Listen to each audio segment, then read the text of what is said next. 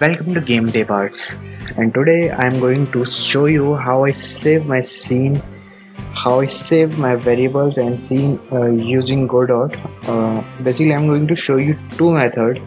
One in which I save my game using variable and other using packaging basically you can use both method and I will also tell you some benefits of using safe scene using packed scene. It's quite easy. And I hope you're gonna like this video. And I will also post my script in my github repository. Uh, link is in the description.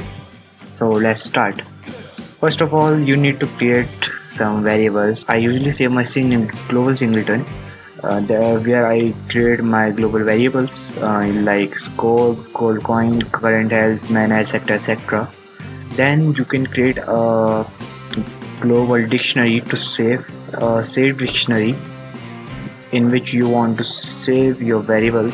Uh, like uh, this one I use it to save my texting basically if you're creating a two or more variables then you can uh, save this in a variable. Otherwise you can use a constant over global uh, because this location is going to be same every time. Uh, you don't need to create this variable here.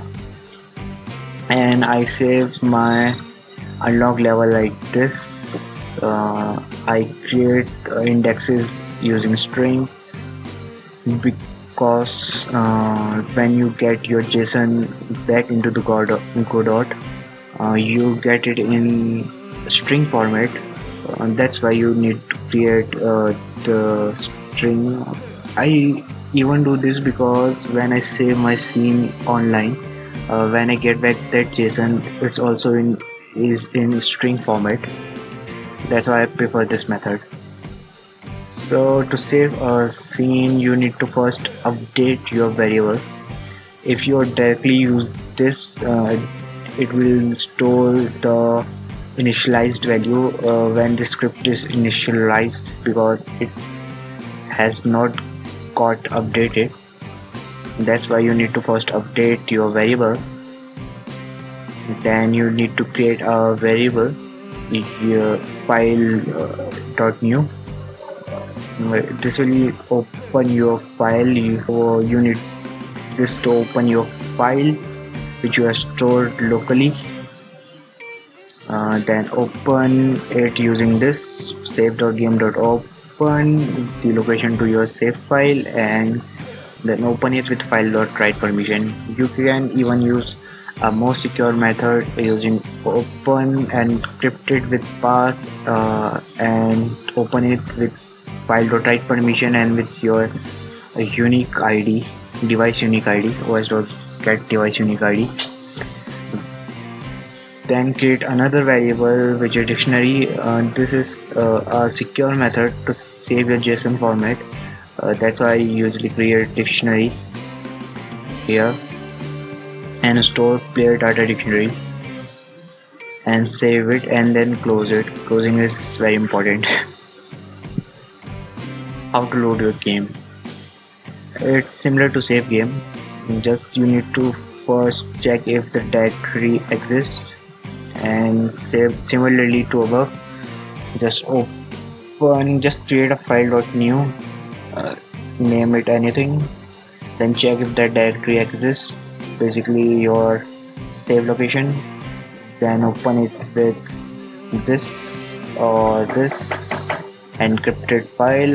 Note this here you need file.read permission. Wait.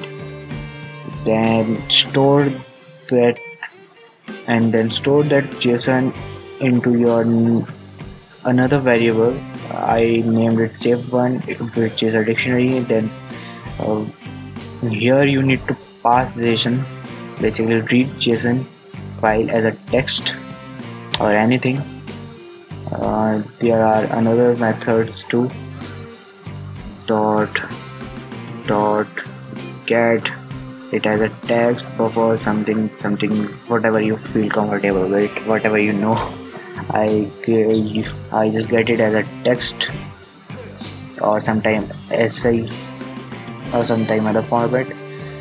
Then close that file and store that json variables into your global variable note your json variable is a string. You need to convert it into your another variables or the global variables like integer or string or dictionary. And it will save your it will load your json format into the current game. Uh, so here this is what it's gonna look like if you are saving this it will create this only same same same. And if you update anything while playing the game this browser and then run it. Basically in game it will update your json file.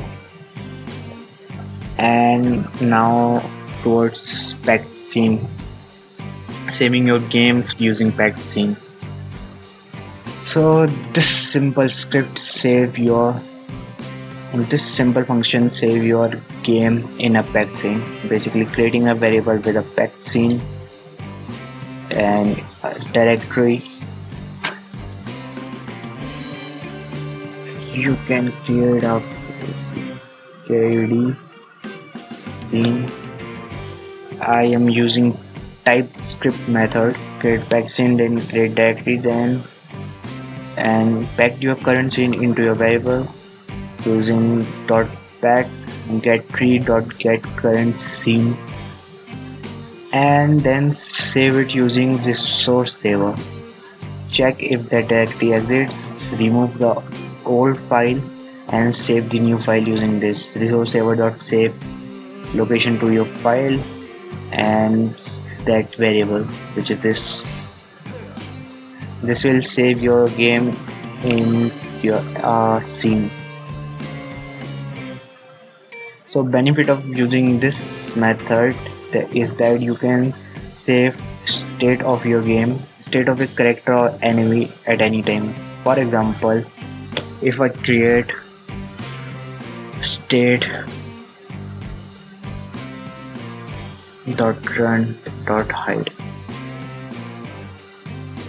um, basically if I create a node a node that node needs to be uh, one which have got visibility option if you create using this uh, or when using the control control has got visibility method but this white node has not got the visibility method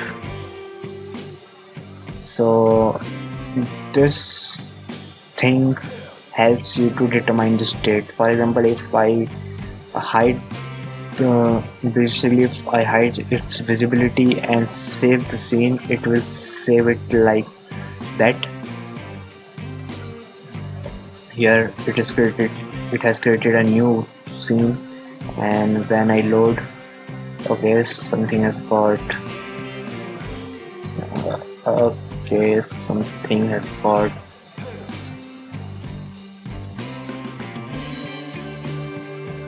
yep.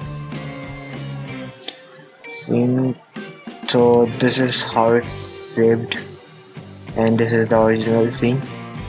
Um, using the packed scene you can save the state uh, here uh, you can attach a new script and check uh, and check the um, visibility in ready function or like for example state state.run uh, and so if set dot visible equals true do something. Using this uh, you can save states or and it even save your location um, globally. It even save your location in the tree structure. Uh, you can just use this icon for example here. This is the original game. If I change this icon here and save it it will save the scene it will save this icon location. And note that it won't going to save the variable if you create any script uh, over here and save it it won't, won't going to save the variable of the script only the node location node data. And basically you will only save this method not your script variables so that's all for today's video. I hope you like this. So please like share and subscribe. And follow my channel for the next video. Until then enjoy